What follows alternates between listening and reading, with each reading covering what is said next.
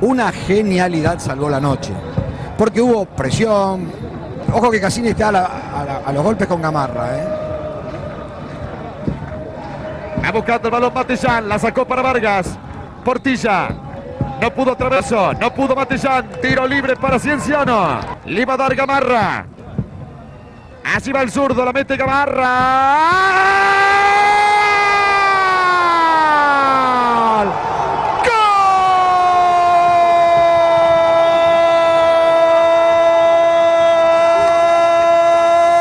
¡Gol!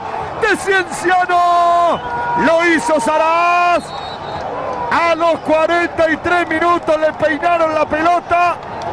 Duerme Boca, empata Cienciano y esto está 1 a 1. Inesperado momento para Boca, que creía haber ganado el partido. La recopa sudamericana, la mete Schiavi para Palermo. Salibáñez se queda con la pelota, va a terminar el partido. Cuando saque el capitán, va a terminar el partido. Va a sacar y esto se acaba, señores. Ha terminado el partido. Aquí en los Estados Unidos. Por la final de la Recopa Sudamericana. Han empatado Boca y Cienciano. Este equipo de milagros. El Cienciano 1. Boca 1. Atención. Así va. Vargas. Atajó Ibáñez, señoras y señores. Otro milagro de Cienciano. Entre los grandes de grandes. Entre River en su momento y ahora Boca Junior. Cienciano campeón de la Recopa Sudamericana. Cienciano. ¿Ya sorprende? ¿O dejó de ser una sorpresa en el fútbol de Sudamérica? Cienciano campeón de la Recopa Sudamericana. Por penales. Le ganó Boca 4-2. Todo Perú. Todo Perú festeja. Cienciano campeón.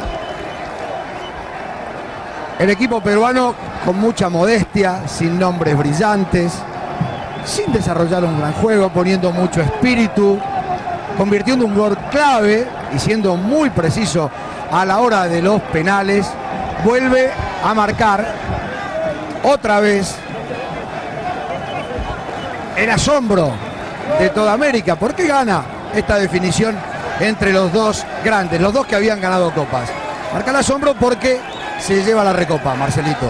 Gracias, Fernando. Bueno, lo vienen a saludar. Gracias. Fue a pedir una bandera rápidamente que estaba en la tribuna de Perú. Nuestro país está tan necesitado de triunfo, de alegrías, que este es para ellos, ¿no? Para todo el pueblo peruano, para la gente.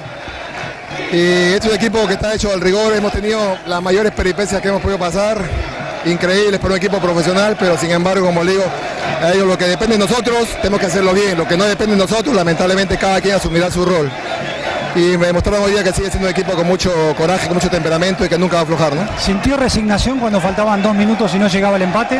No, no, hasta el final tú me ves gritando y arengándolos porque el cansancio va haciendo presa a los jugadores, sin embargo yo no quiero que se me caigan porque cuando mete este equipo y mete, el equipo que lucha, lucha hasta el final y persiste, encuentra siempre su premio, ¿no? En la concentración me había dicho, acá hay que meter, hay que luchar en este partido. Sí, un partido duro, luchaba pues un primer tiempo muy con gente más de lucha, de combate, y en segundo tiempo ya con Saraz, con Lobatón que dieron más fútbol y más llegada al arco argentino, ¿no? Cuando lo juntó a los jugadores, estaban todos sentados, ¿qué les dijo?